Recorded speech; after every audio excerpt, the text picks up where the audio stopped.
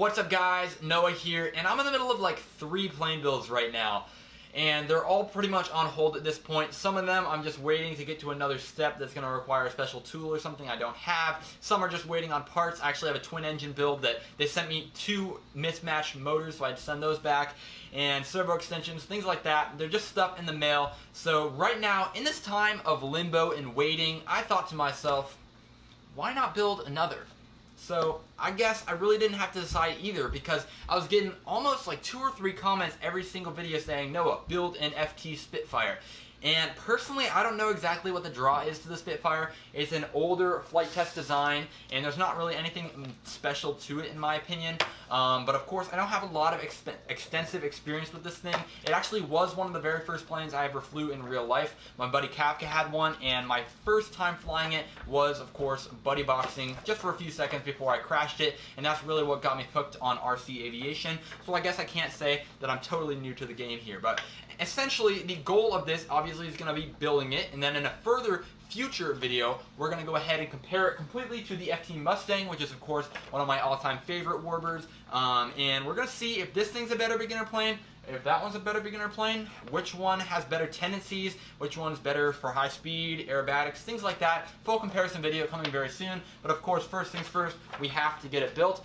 Alright, so let's go ahead and get into the electronics for this build. First things first, our servos here. These are SG90 servos. They are the Miuzei brand off of Amazon. Very popular among scratch builders. I've got four of them here, and they're they're pretty darn good for what they are. About two bucks a piece, and they really do get the job done. Moving on to my power system here. As you can see, I've got a ZTW Beatles 30 amp ESC. These are some of my favorite ESCs because they're very reliable, they're inexpensive, um, and they have a lot of good performance to them as well. On the other end of that, we've got our motor here, and this one is going to be a little bit new for me. I'm running this Sunny Sky 1250 kV 2216 motor from their new A line, uh, and again, it's kind of a new line, so I don't have a lot of experience. We're going to be using this plane as a test bed for this motor, but it should be roughly um, equal to their X series, which I'm kind of moving away from because they have such soft metal motor shafts, so it strips out pretty easily. Uh, things like that, but a pretty standard run-of-the-mill uh, PowerPack C-spec motor. And with that, I have a 10 by 7 prop. I'm going to start out with this. I might go up to an 11 inch or might go down to a 9 inch, but this is a pretty safe uh, place to start off with for these PowerPack C builds. Anyway, moving on to my battery here. This is a 2200 milliamp hour 3S. That's pretty much where you want to stay with these um, for the best flight time, but also the best overall performance and power. Um, so this is a Rhino pack right here, and I've had a few of these for a little bit.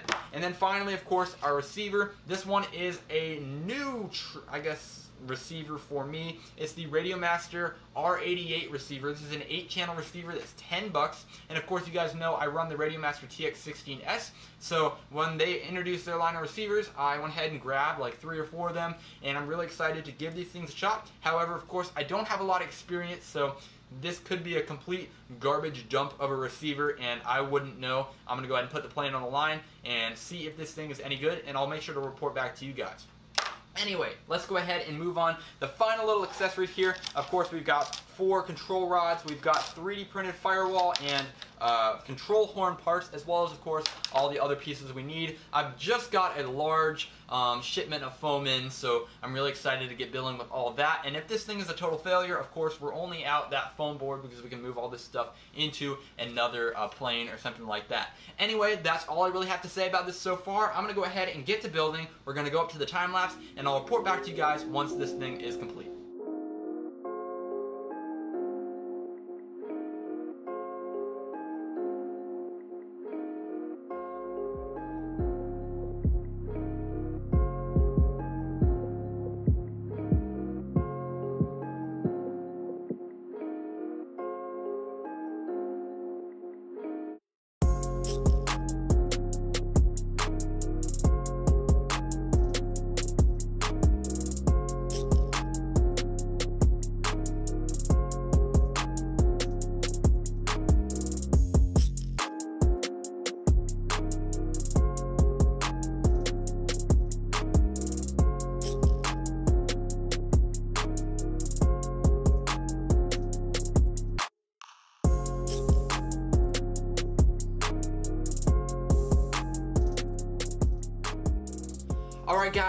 As you can see here, I finished up the FT Spitfire. It's the next day. I put about four hours into it total, three last night to get the most of it done, and then came back this morning just to finish it up. Pretty happy with it altogether. And being on a Flite Test older designs, it doesn't have a lot of the new techniques and technologies that they've developed on their newer models, meaning that also is a faster build. You're not so worried about getting all that paper fold over um, for the exposed foam or the extra structural reinforcement on the fuselage. So altogether, I really can't complain too much. It was a pretty uh, seamless build all around. Let's go ahead and talk about the different modifications that I've done to this airframe um, as I have it before we go out and fly it. First things first, of course, I went ahead and glued in my power pod. I do this on all my airplanes, just it gives a little bit better structural support and it doesn't wear out as easily with the power pod all moving around. Um, it's really worth it in my mind just to get a separate motor and ESC for each plane that I own. They're not too expensive and it usually adds up. Anyway, let's go ahead and talk about these servos next because I did go ahead and use these stock mounting and I'm really happy with these all around. Just how they're on the external um, side of the fuselage so you can uh, obviously adjust them and get at them. Uh, that's something that obviously you don't have on the FT Mustang. It looks a lot cleaner when they're mounted on the inside. However, you just really cannot take them out if you have one that fails or anything like that, which is really annoying, especially if you're not trying to rebuild this right after you have some, you know, crash or some other issue with your servos. I also went ahead and mounted my receiver actually in the back part of this fuselage right here, which is interesting. The Radiomaster receiver is a little bit different than your typical Spektrum receiver. It doesn't have a uh, bind plug. You don't need anything like that. It just has a button, which is super convenient, meaning that I can go ahead and mount it on the inside of the fuselage here and then all I did was make a little pinhole on the side where I can stick a screwdriver in that'll directly access the bind button if I need to go ahead and bind this again in the future uh, so I don't need to you know get up in there and try to fit a bind plug into the receiver very convenient unfortunately obviously there's not really a good way of getting back into the fuselage if I need to redo my wiring but I'll go ahead and cut into something or I don't even know that's kind of in the back of my mind at this point other than that it's a relatively stock um, Spitfire here I guess the only notable other thing that I've done is I went ahead and made a little water bottle windshield. It's not looking the best. I kind of just did it in like two minutes, so I might revisit that later or put on the speed canopy, but I don't know. Either way, I think I like how it looks for now. It's going to do for the first few flights, and we'll see if I make any improvements down the road. Other than that, I think the build process was pretty darn easy. Um, like I said, an older build definitely doesn't look the best all the way around it just because, again, they hadn't developed those techniques yet. Um, but that did make it very, very easy to do. And if you guys are looking for a good build as a beginner, this might be a great option for you. Let's go ahead and see how it flies, though, because that's going to be the real determining factor on if you should go out and build this and have it in your arsenal. Let's go ahead and head out to the park. Alright guys, so I just pulled up the park. We're flying the Spitfire for the first time, and I got a few other planes in the back that I'm going to fly after this, but it's a gloomy day, nothing special, but there's no rain, and the wind doesn't seem to be too bad, so I guess I really can't complain. I'm looking out at those pink flags out there you might be able to see uh, where they mark the soccer lines and things like that. Um, I guess it's not too bad. There must be a little bit of a breeze, but we're going to see how this thing flies. If it flies anything like the Mustang, I'll be really happy with it. Uh, my buddy Kafka told me it's a little bit faster, so I'm kind of expecting that, but we'll see. It's about equivalent in terms of electronic motor setups, things like that, so I guess we're just going to have to get my raw thoughts on how this thing flies. Without further ado, here we go. All right, looks like everything is good to go. Got my CG set up properly. The CG on the plans is right on the spar. So that's what I followed for this. Throttle cuts off, wind's at my back, but I'm not thinking I'm gonna have an issue with this, so. Okay, so she's up in the air. Elevator's definitely a little snappy.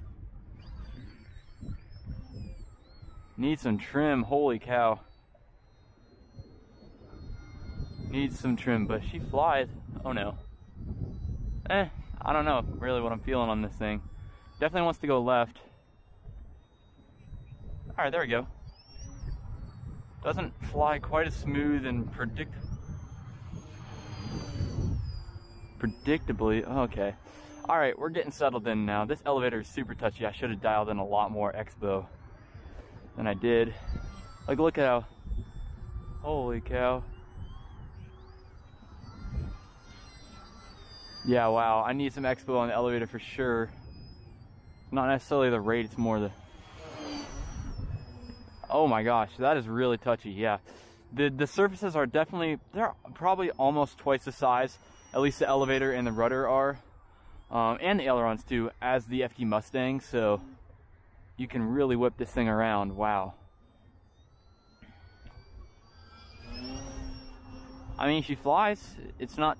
I mean, it's not graceful yet, but this is a maiden flight, so I can't really comment too much on that. After I land, definitely gonna make some rate adjustments now with my new newfound knowledge. But look, just snap loops and rolls and stuff like that. Definitely feels like I'm getting some either like stall spin action or something like that. If you kind of get in a dangerous situation, I, I don't know. That's probably my CG you can probably favor it one way or another. It's rather nose heavy, I'd say. Um, if if there has to be any sort of um, any sort of kind of favoritism on that that I went for, obviously as you should. But I mean, she flies. She does not like the wind. Does not like the wind, which is something I really wasn't expecting. This thing isn't all that different from the uh, the Mustang, and the Mustang doesn't have a problem with the wind, but you can definitely feel it on this larger airplane. I mean, it's, it's not larger than the Mustang, but it's a, it's a pretty large airplane um, compared to like minis or other ones with smaller wingspans. Definitely you can use that rudder pretty darn well. The, again, bigger control surface. The Mustang can do flat turns. This thing can do flat turns pretty well. I mean, it gets a little fidgety because you're using some aileron to counter. Definitely not a way I'd personally fly, but not too bad. And this is my very first flight with the Sunny Sky A2216 1250 kV motor.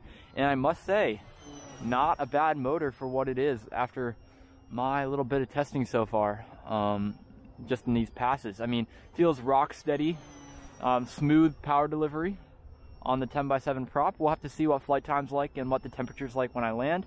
But um, it feels like a good motor so far.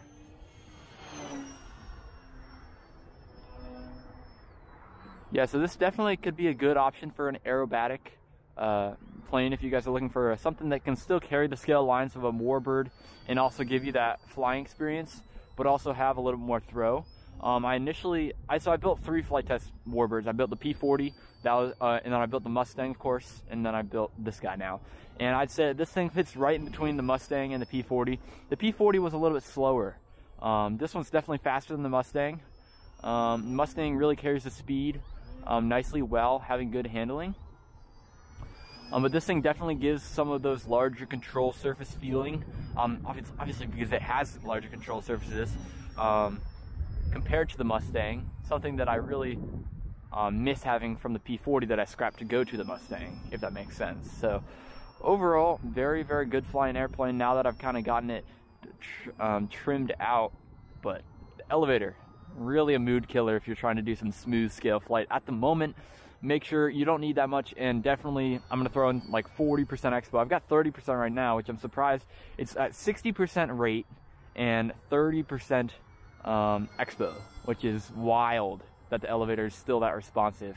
And again, my only conclusion is that it's just such a big control surface that that's what's causing it. But all around this this Spitfire is a great fun plane to fly. I am not gonna really I don't really I mean obviously only have a few minutes of flying experience with it so far so I guess I can't draw too many conclusions.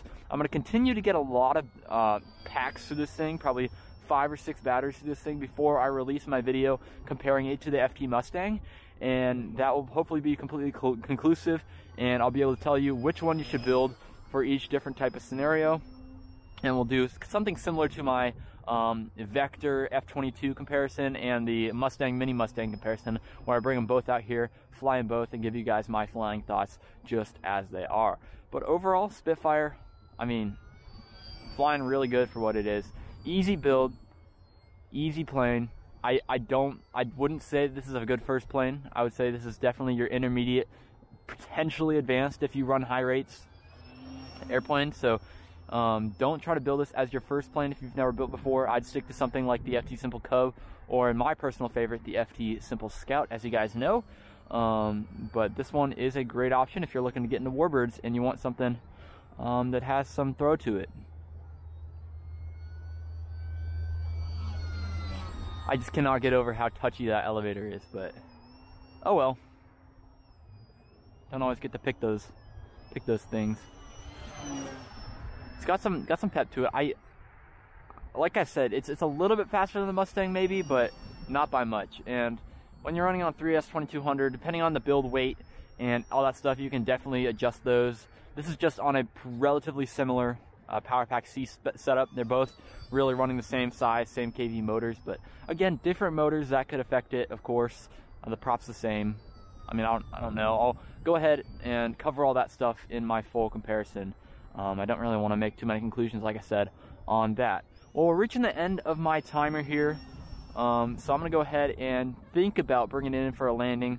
Um, all the snow that was out here yesterday um, just melted. So, yeah, we got to go ahead and consider things carefully because this is a belly lander, of course, and all this stuff with the aeration pellets and things like that is just straight muck.